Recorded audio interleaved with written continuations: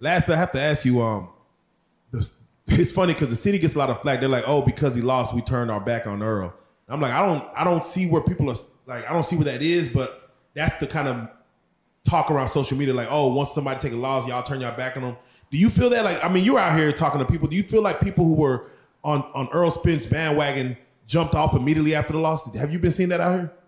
I mean, the people that I be around is pretty much realists, you know what I'm saying? They respect both fighters. You know, we was on some, you know, shit, Earl got to come with it type shit, you know, because we knew he was fighting another dog. So, I mean, now far as, you know, just the city, you know, that's just how we do, man. You know? Yeah, right. Like, shit, check this out. That's sad. That's sad. Everyone Man, lost. let, let, let that Dak Prescott them come out bullshit. Man, throw the city away. Throw the whole season away. Fuck them hoes. You know, that's how the city go be. You know what I'm saying? So, it, You know the irony to this whole situation is they tried to clown Terence Bud Crawford because he was from Omaha, saying nobody's from there. It's a little place, like n- nothing significant over there. Uh, nobody cares. You ain't gonna have no fan base. All this other stuff. Coupled with all the stuff that they was talking about with Terence Bud Crawford. Now you're gonna lose the fight, have a crawfish, and all this other stuff. And you know how it go only to end up on top of all that has happened and all that has got reversed on Errol Spence. In the end, when he went to talking all that big Texas talk and all that other stuff, Texas, from what they saying and from what my man said, abandoned him and didn't mess with him. Once again, I'm trying to get you to understand this is the man that called himself the big fish. He's the big fish based off being based in Texas because Texas is so big. The market, you know? So that's what gave Errol Spence the so called advantage over Crawford. That's how they were looking at it. You know? Because it's really a few states in one but it's so big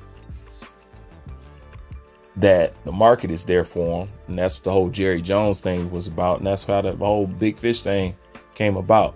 But to only in the end to see Terence Crawford being loved and celebrated by his own, and Omaha gave it up for him from top to bottom. They gave it up to him.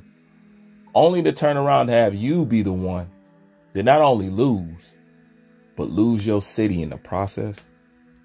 It's crazy, bro. That's crazy.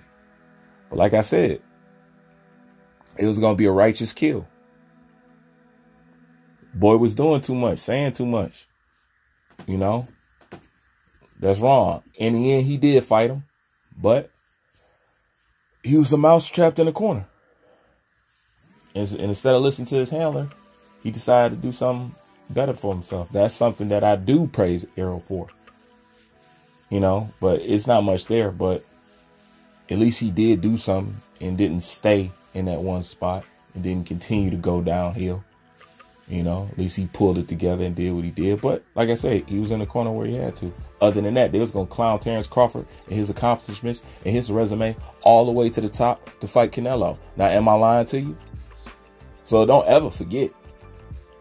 You know, but I just think it's funny that you clown him for being from Omaha and you supposed to be from Texas and stuff like that, and he's a little guy and you supposed to win and he supposed to lose and you end up losing. All that with the belts, with your undisputed dream. Derrick James, trainer of the year, down the drain. They know that they they not know that's false. And you lost your city. Crazy. Like, comment, subscribe. I'm out.